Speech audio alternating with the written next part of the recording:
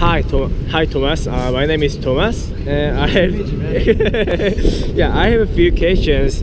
So could you should introduce yourself, where and then when and where are you playing? Yeah. Uh, my name's Thomas Copey. I'm of the band Coyote and Crow, and I'm busking down at Washington Square Park. And how long have you been uh, busking here? Um, I've been busking here for going on about four years now. Four years. Yep. Wow, awesome. And then do you like it? Uh, yeah, this is probably my favorite place to play in the city.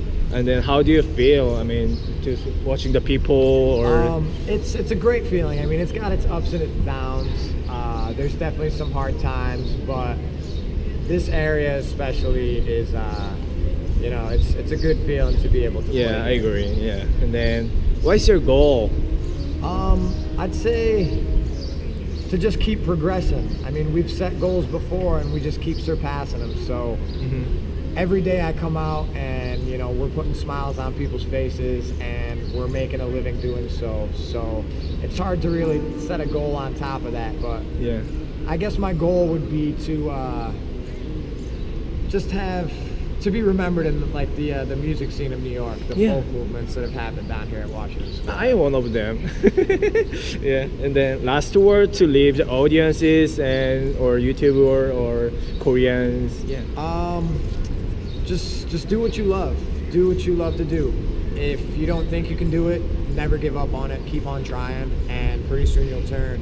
You'll turn around with your mentality if you're feeling negative about it or anything. But if you truly have a passion for something, you can make it work, and you can make a lifestyle out of it. Oh, so yeah. go for it.